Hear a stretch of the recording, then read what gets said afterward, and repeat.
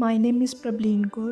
I have done my bachelor's in biotechnology from Khalsa College, Amritsar, and here I got 85.79%.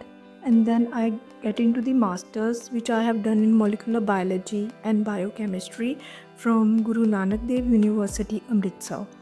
And here I have scored 8.25 CGPA and currently I have enrolled myself in an internship program provided by Biotecnika and it is mainly for bioinformatics tools and techniques. And I have also opted for project work of 6 months along with this internship program. And I want to get into the bio IT or biotech companies in the future because I want to work on dry lab experimentation and I have interest in biological data interpretation as well. So I am really hoping to get into bio IT or biotech industries. And I want to extend my gratitude towards Biotecnika for providing me this internship program as well as project work to work under their guidance. And I think after the completion of this internship program or project work, I will get the skills and I'll get the knowledge which I will definitely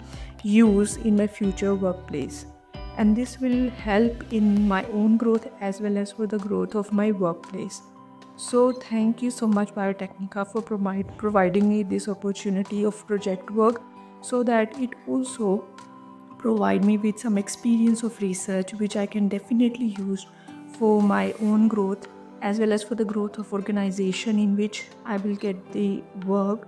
And thank you so much again for this opportunity and I'm really looking forward in future to grab the opportunities uh, which are related to the job and thank you so much